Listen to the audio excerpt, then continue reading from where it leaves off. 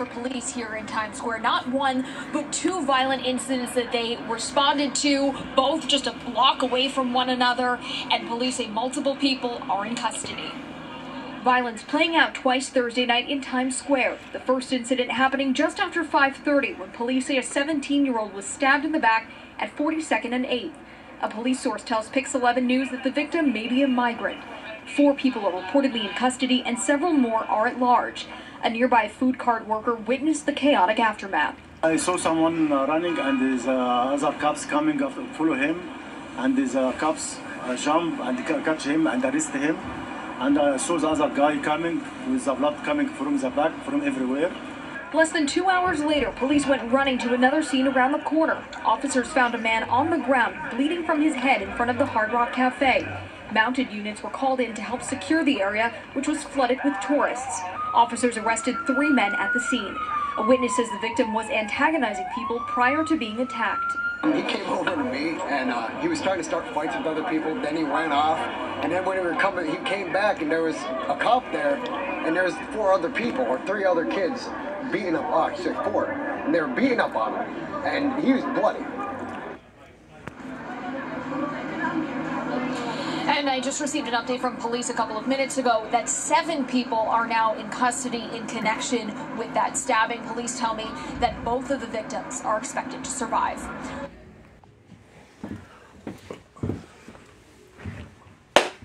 Only on Cryse 17 TV. Back upside your head with another one. Yeah, Times Square, New York City. Can't even go downtown no more. Let's talk about it. Well, first they blaming the migrants. Now a migrant is a victim, but was the migrant starting some something with somebody to get stabbed? First of all. Second one looked like a drunk guy in front of the Hard Rock Cafe bothering folks and some kids beat him up. Surprise hell no, cuz people be drunk and these and these youngsters will whoop your ass. And that's is a fact. But Times Square is too much violence. It's like every other day we're getting something from Times Square. Cops getting beat up, people getting stabbed. This is like the third teenager that's got stabbed in Times Square like this. This shit is happening overnight, every night.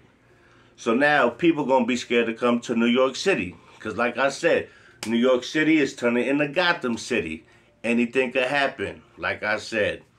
And it's a shame because when people come from out of state to visit, they want to go to Times Square. They want to see the bright lights. They want to see Elmo. They want to see the Hulk. You know what I'm saying? Just that's what the they want to bring their family for. But if people getting stabbed and shot and the police getting their ass whooped down there, guess what? New York's about to lose a whole lot of money from the tourists because they're going to quit coming here. Who wants to come here when you're getting beat up or you can get stabbed or they shooting or anything can happen? This shit is getting to be old and old fast. And I'm just like, I've seen some shit down there. When I was down there, last time somebody got shot down there because kids was fighting and one one guy got punched and then somebody shooting and somebody who wasn't even had nothing to do with the fight gets shot. That that's just how it is. The people who just around there is gonna be the victim stray bullets. Cause people don't know how to shoot and you shouldn't even be shooting in a crowded place. If you're gonna fight, that's one thing. You lose, you lose. You know what I'm saying? Don't go get no gun and pull out no gun because you lost some fight that you might have probably started. But like I said, it's gonna hard. It's gonna be hard for people to keep coming to New York when they keep showing this shit on the news. New York's beautiful, but they making it ugly right now. They making it real ugly, and this shit is happening on the regular. Like I'm about to go back to New York soon. And I like going downtown, but I'm not really in Times Square a lot. I like to go more downtown, like down downtown, 14th Street, Chinatown, shit like that, Bleecker Street. But I'm not surprised, because listen, the more people that's coming there off bus loads, don't have no money, they're going to do what they need to do, and it's pretty much crime. They ain't got no jobs, they ain't got no, I mean, it's just how it's going to be right now. So you keep letting more people in in New York, it's gonna be more crime. That's just easy math. The more people there who ain't got no money, they're gonna go out and try to do what they gotta do. Robbery, whatever they gotta do, they're gonna do it. And it's a shame because they're turning downtown into fucking a place where nobody even wants to visit no more, which is trash. New York is beautiful. The Bronx is beautiful. Queens is beautiful. Brooklyn, every place you go, but people are making it real fucked up. Kids getting shot, teenagers getting stabbed. Nobody wants to bring their family out here to take a chance that they might be a fucking victim of a robbery, of a shooting. Be like, be like Bruce Wayne's parents, mugged coming from a, a, goddamn theater and get killed, and now you left with no parents.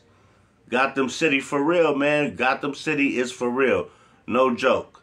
Just had to drop some few lines because this is breaking news. This just just happened tonight in Times Square. This just happened.